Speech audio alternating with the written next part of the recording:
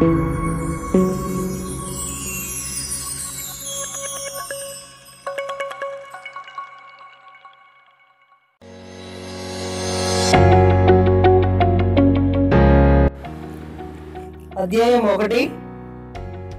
గుర్తుకు తెచ్చుకుందాం. అభ్యాసం టూలో ఈ క్రింది సంఖ్యలను దగ్గరి పదులకు సవరించి రాయండి so thirty two so thirty two అనేది ఏ పదికి దగ్గరగా ఉంది? ముప్పైకి దగ్గరగా ఉందా? నలభైకి దగ్గరగా ఉందా? మనం ఈ క్రింది గీసినటువంటి బొమ్మ ద్వారా ముప్పైకి దగ్గరగా ఉందని తెలుస్తుంది. ఎందుకంటే ముప్పైకి దగ్గరలో ముప్పై ఏడు తర్వాత ముప్పై రెండు కాబట్టి ముప్పై రెండు దగ్గర పది అవుతుంది.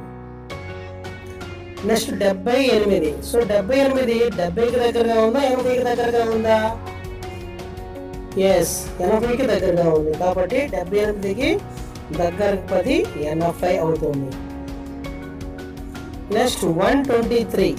So one twenty అనేది వన్ ట్వంటీ త్రీ అనేది వన్ ట్వంటీకి లేదా వన్ థర్టీకి దేనికి దగ్గరగా ఉందో మనకి చూడగానే తెలుస్తుంది. వన్ ట్వంటీకి దగ్గరగా ఉంది. కాబట్టి వన్ ట్వంటీ త్రీని దగ్గర పది సవరించి రాయమన్నప్పుడు దాని ఆన్సర్ వన్ ట్వంటీ అవుతుంది.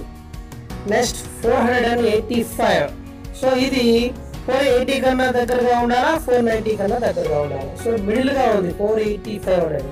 అప్పుడు మనం తర్వాత బదులు అంటే ఫోర్ నైంటీకి దగ్గరగా తీసుకుంటాం అన్నమాట. అదేవిధంగా next problem two thousand five hundred and forty six. So ఇది two thousand five hundred and ఫార్టీకి కానీ two thousand five hundred and ఫిఫ్టీకి కానీ దగ్గరగా ఉంటుంది. సో మనం గమనిస్తే ఫార్టీ సిక్స్ అనేది ఫిఫ్టీకి దగ్గరగా ఉంటుంది కాబట్టి దీని answer two thousand five hundred and fifty.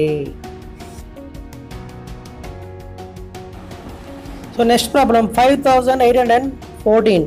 So ఇది మనం గమనించండి ఫోర్టీన్ ఉంది. అంటే ఇది టెన్కి లేదా ట్వంటీకి దగ్గరగా ఉంటుంది. Five thousand eight hundred and ten లేదా five thousand eight hundred and twenty. So fourteen అది బిలో ఫిఫ్టీన్ కాబట్టి మనం టెన్ తీసుకుంటాం so five thousand eight hundred and ten.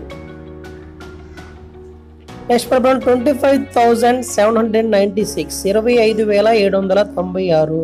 So ఏడు వందల తొంభై అంటే నియర్లీ ఎయిట్ హండ్రెడ్కి చాలా దగ్గరగా ఉంది. కాబట్టి ట్వంటీ ఫైవ్ థౌజండ్ ఎయిట్ హండ్రెడ్కి దగ్గర పదికి సవరించి రాయడం అనేది జరుగుతుందన్నమాట.